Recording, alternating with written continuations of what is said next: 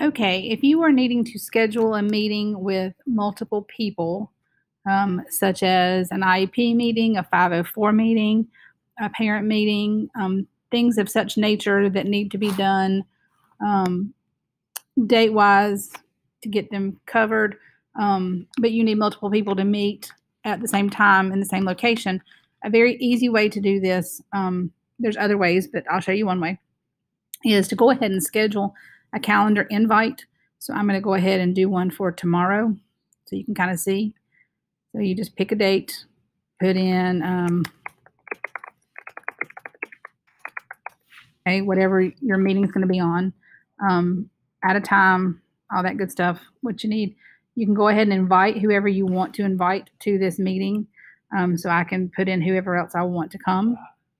Um, if you go down through here and continue and click more options,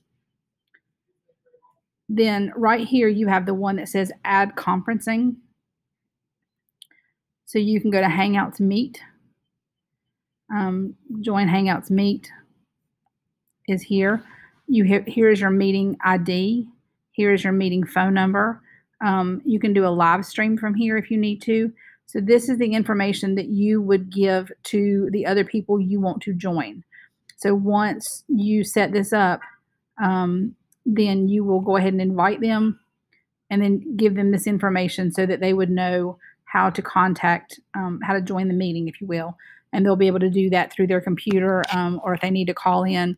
If parents don't have a phone number, I mean, a computer that they can do things on that way, they can call in with this phone number. There's the PIN that's available and be able to talk to everybody in the meeting at the same time. So, this is one way that you can do a group meeting um, online that doesn't have to be live, something virtual. Um, so just set that up, invite the people you need to add, and then hit save and um, get all that taken care of. So let me know if that works. Thanks.